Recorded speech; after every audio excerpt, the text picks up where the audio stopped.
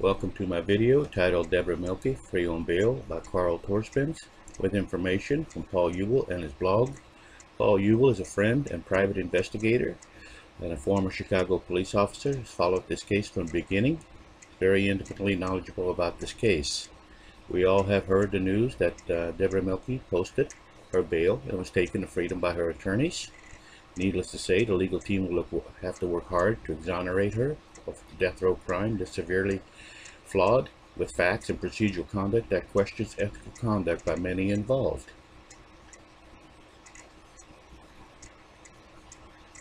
Investigator Huebl states in his blog, I can't tell you how wonderful I feel about this right now. Milke will be eating food tonight, and she's not tasted in decades. She will also shower and use the bathroom in total privacy and sleep in a real bed. She will quickly learn how to use a cell phone, perhaps an iPad, and establish an email account. She will shop for clothes and all those things women need in total freedom. The photograph of Milke driving away from the 4th Street Jail, or Durango Jail, I'm sorry. As you can see, the attorneys are very uh, elated as they drive away and take her to temporary freedom as the trial is not yet over. Milke will prepare to take on whatever Maricopa County Bill Montgomery and his star witness, disgraced Detective Armando Saldate, will throw at her.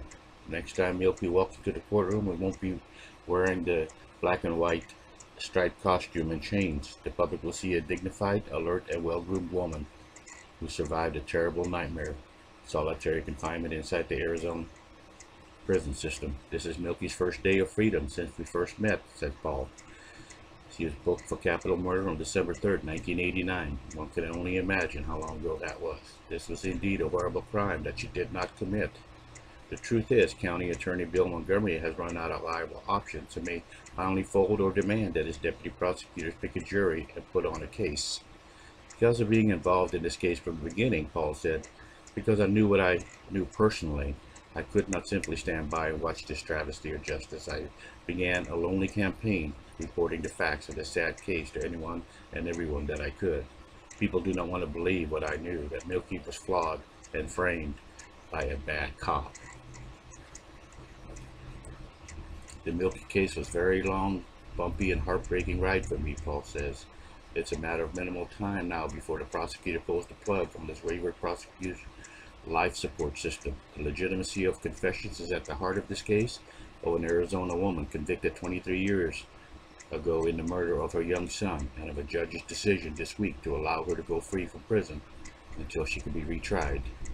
Fact is the federal court system last spring overturned the conviction of Deborah Milke on grounds that a sole detective who heard her confession in a closed interrogation room lied under oath in other cases, shedding doubt on the entire case her alleged confession was not recorded. She's not yet exonerated, but she will have a fair trial this time around. The whole practice of obtaining confessions has received some black eyes in recent years as convictions of various kinds, murder, sexual assault, robberies, and so forth, have been overturned when confessions were later found to be false or coerced. The, now the clock is ticking. It is now up to the criminal justice system in Arizona to bring justice back into the courtroom. And although free out on bail, she's not yet free.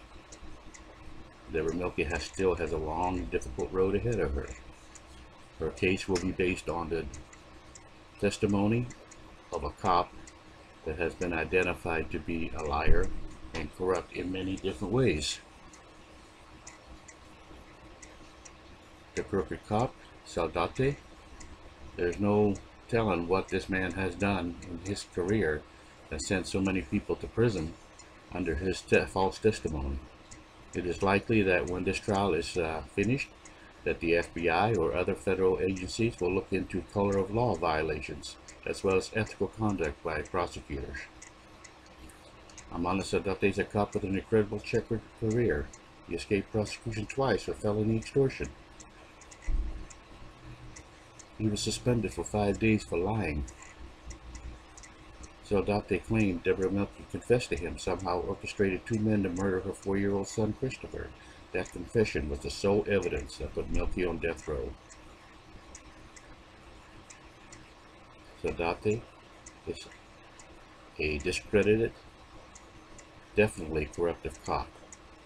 He had his own agenda, and in an age where police used recording devices to record confessions, he shunned away from documenting his interrogations on any form of electronic recording. His conduct is unacceptable in a law enforcement community. The Ninth Circuit Court of Appeal found in a 60-page opinion that the court referred the entire matter to the Justice Department for the investigation of violation of Deborah Milke's civil rights by Saldate and the members of the Maricopa County Attorney's Office. So this case is far from being over. As always, I thank those who helped me, private investigator Paul Law, www.crimefilenews.com, and again, thank you for watching my videos.